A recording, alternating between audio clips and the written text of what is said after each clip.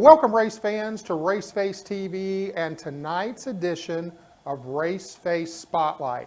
So Race Face Spotlight is all about us talking about our race face drivers. And tonight we're going to be talking to 13-year-old Joe Valento from up in Scandia, Minnesota. Uh, Joe started racing when he was eight years old. So Joe, how are you doing this evening? I'm doing great. How are you? I'm good, man. You're looking good. Thank you. All right. So it was kind of weird because Joe and I actually spent, was it last weekend? Yep. We, yeah, we spent last weekend together. We were at Iowa Speedway, and uh, Joe came down and with his parents and his and his little sister, and actually was supporting some of the uh, the other race face drivers that were running there in the NASCAR K&N series. So, uh, Joe, I know that you came originally from the quarter midget, um, and you ran both USAC and the the QMA. So, tell us a little bit about your your history in quarter midgets. Well, I started when I was eight, and that was at the Cedar Lake Dirt Track in Wisconsin. That was all QMA stuff. We started uh, there, and then we went to Elko in Minnesota, and that's also QMA. And that was the first year. We just ran a couple asphalt races, just kind of getting used to it, and just for a little bit of learning for me.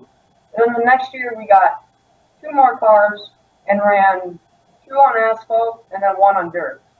So I, we didn't have to switch the cars back and forth after at each race day. So then the next year we gotten both two cars on dirt and two cars on asphalt. And then we started winning a bit there and we were realizing I wasn't getting enough as a driver. So that's when we decided to start heading out to race with the USAC National Series, race against the most uh, skilled drivers and the most have the most competitive races so I would learn more as a driver.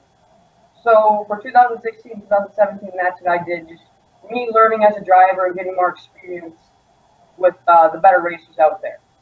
Yeah, and that's that's really good because a lot of times people get caught up with, you know, oh, I want to win a championship. I want to win this championship at my local track, and they miss that opportunity to go out and compete against some of that better competition and run the, some of those national events. And, and I think you were really smart. You and your dad and mom were really smart in doing that because it not only exposes you to a lot of other things, but it's the experience of having to travel. It's the experience of racing on different tracks all the time. So sometimes, you know, you kind of get used to running on a particular track. And again, if you're not challenging yourself, then you're not developing. So I think that was really smart. So in 2018, this year, you guys decided to step it up again and do some micro sprint racing. So tell us a little bit about that. Yeah, so we got the micro sprint this year, and that was in April. And our first race, we got Port City Raceway. And Port City is the toughest track in the country. Everyone says it. So it's a great track for learning. So we've been going down there. I think we've been there four or five different times, and we keep going back there just because of learning. And there's top drivers there every single weekend. So I always know that when I go there, I'm going to have competitive races. Also, we've been to US 24 in Indiana. That's a all, that's a very fun track too. That's my personal favorite. And we've been racing, last weekend we were in Menominee, Wisconsin, and we also run races at Princeton. So we're getting around and I'm hoping to race a little bit or find different tracks and more fun tracks to race at. Yeah, because I know when you guys go down there, um, that track right outside of Tulsa, I mean, that's like the Daytona 500 for micro sprint drivers. I mean, that's the top. And, and what, what makes that track so special? I mean, it's not like it's, you know, easy to get to. I know you guys travel about what about 11 hours one way just Yeah. to get there. So what makes that Yeah. track attractable? I would say to all of these top drivers. Well, track is so small and banked, so always constantly up on the wheel. You're never like just resting. You're always up. You're driving as hard as you can.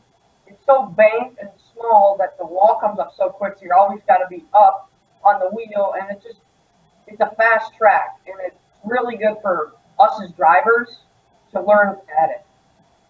Well, I, I know that you guys have had some, you know, some success there. I mean, maybe not as much as you wanted, but again, um, I think it's all about the experience going there and pushing yourself just a little bit further. So, um, you're doing micro sprint this year. What is, what are your goals moving forward? Let's let's talk about the next three or four years. Where does where does Joe see himself? I want to transition back over to the asphalt and start racing late models over the next couple years. So I know that you, you talked a little bit about doing some quarter midget racing at Elko. And I know that you actually went up to Elko and visited with Sheldon, went up and watched Sheldon Creed uh, run one of the ARCA races up there. So do you see maybe yourself going there and getting back on the asphalt? Yeah, that's definitely what I would want to do as a driver. Right. So the late models, that's going to be another big, another big step. You know, going, you know, again on dirt this year, and then now you're going to go back to asphalt, get in a bigger, heavier car. And uh, so, what are your expectations doing that? Well, I just I've got to do my best and just perform it the best as I can. That's all I can really do. Right. So, you know, I, I don't have any doubts at all that you're going to do very well there because, you know, uh, we know that you are a fast learner. We know that you have speed, and those are the two of the things that people can't really teach you. Drivers are either fast or they're not fast, and we know that you're fast in everything that you get into. But um, you know, the other cool thing is is that you're going to have some of our other race face drivers that you can kind of lean on for a little bit of information. And like I said, I know that you've had the opportunity now to meet Ryan Vargas and Anthony Alfredo and Sam Mayer, and you've met uh, you've met Sheldon. So you're going to get a lot of support from us on this side. And, uh, you know, we're, we're actually talking, we can't really talk about who we're talking to, but we're actually talking about getting, you know, you set up for that, uh, for that asphalt journey next year. And if we can put all these pieces of the puzzles together, you're going to have a really exciting year next year. I hope you're excited about that. I am for sure. It's going to be a very action-packed and fun year. So there's not a lot of weekends that you actually have off because again, you're racing all over the place. And so what, is, what does Joe like to do when you're not behind the wheel of the car?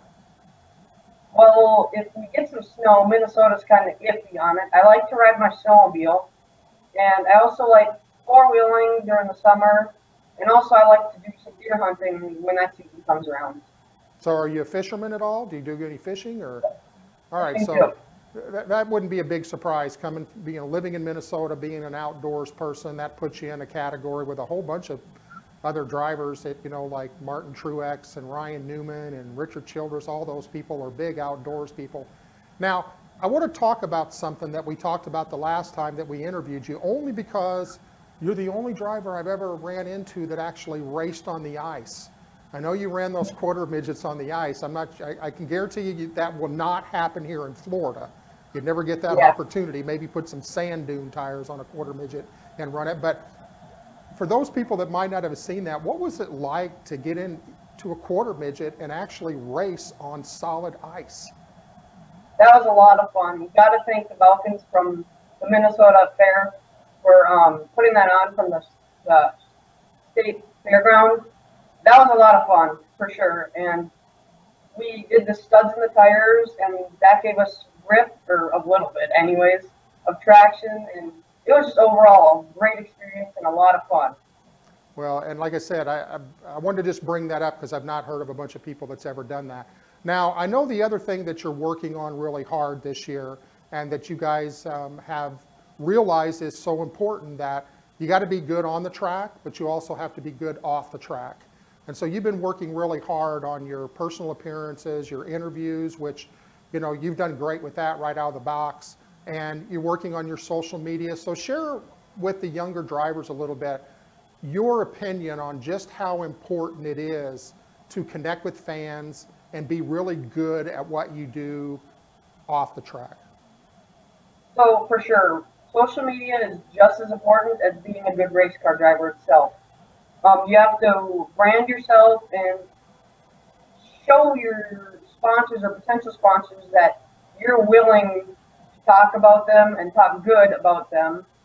And you just always have to be talking positive and being a positive person overall to help not only the racetracks with getting fans to watch the races and um, supporting the tracks and drivers, but all, like I said, the sponsors too. You have to be positive and always talk good about it.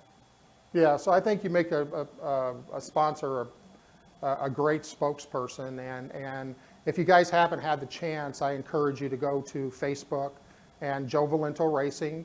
Uh, like Joe's Facebook, start to start to follow him, become a follower. Uh, you'll be really glad that you did because I think there's big things in the future for for this young race car driver. Now, I know when you were at Elko Speedway, you got to meet and spend, you know, just a couple of maybe minutes with, with Sheldon Creed, but you also got to meet a very good friend of mine, and you got to meet one of the top NASCAR development people in the, in the industry ever, and that was Lorin Ranier. So tell me a little bit what that was like. That was great. I was really glad we were able to meet Lorin and talk with him about him. He's just a great guy overall, and like you said, he's a big name in the racing community, and it was just great that we were able to meet up and talk with him a little bit. So you know what? If you look back, the last six or seven months of your life have really been kind of like full speed ahead. You've, um, you know, we're we're really excited to have you as a race face next driver. Um, you've got to, you know, kind of get behind the scenes a little bit and see, you know, especially what was going on in the K&N series. You've been to a couple ARCA races, and is it what you expected, or is it maybe even almost a little overwhelming at this point? You know, it is a little overwhelming, but then again, it is what I expected. When you go to the races, see a lot of teamwork. I have to say, there's a lot of teamwork involved in getting those cars ready and on the track and repairing them if it's needed, getting them ready. And it is what I expected, but then again, it is a little overwhelming. Yeah, I know that you got a, you did a little tour with Anthony Alfredo up through the hauler and and uh, a lot of different things like that. And you know, I know that you've uh, you've done a little bit of talking with my with my friend Tom Baker, who's a, basically a driver coach, and Tom speaks very very highly of you. So these are all good things. Like I said, it's been an exciting seven months. Are you ready for the next seven months? I am. It's going to be a blast. It's going to be a blast. Well, is there anything, any of your sponsors you'd like to give a shout out to before we uh, end up the interview? Yeah, I'd like to thank Smiley Sewer Service, Boss Pumping, Winnick Supply, The Blacksmith, Trail Frameworks. They build my race car. They do a fantastic job. Uh, CSI Shocks, Momo's Racing Engines, and Jake from J2K Motorsports down in Tulsa. They build my cars. And also Chris Barrett. He does all the fuel injection stuff and making sure our car's running top notch. All right, well, that's good. Well, I wanted to ask you one more question, because like I said, I've, I've had the opportunity to, to meet your dad, meet your mom, uh, meet, you know, meet your little sister. I talk to your dad almost every day now. But how important it is, is it to you to have that type of support behind you? It's super important to have a family behind you. If you don't, you're just doing it all by yourself. I mean, your family motivates you and helps you along along the way they're there for you whenever you're down or whenever you're not feeling good about yourself. So it's definitely important that you have a good family backing you up. Yeah, and, and I and like I said, I mean you, you've got a great support mechanism there. So Joe, I want to thank you for being on the show. We look forward to uh, doing these with you every every two or three months and keeping the fans, you know, kind of connected. Make sure if you're watching the show tonight that you go to joevalentoracing.com um, find out a whole lot more information about Joe and his racing career. And then again, just follow along with him. I think he's got a Twitter account and an Instagram account. So, uh, Joe, again, thanks for being with us. And uh, we hope to have you back here, you know, later on this year. For sure. Okay, well, everybody, thanks for tuning in to Race Face Spotlight. There you have it. One of the up and coming drivers, one of our Race Face Next drivers, Joe Valento, from up in Scandia, Minnesota. I'm learning, Joe, better how to pronounce these names from Minnesota. It's like all these towns are like really crazy names, but we're getting through that. So uh, not only are we teaching you some things, but you guys are teaching us. So again, everybody, thanks for tuning in, and we'll see you back here in two weeks with the next Race Face Spotlight. Have a great evening.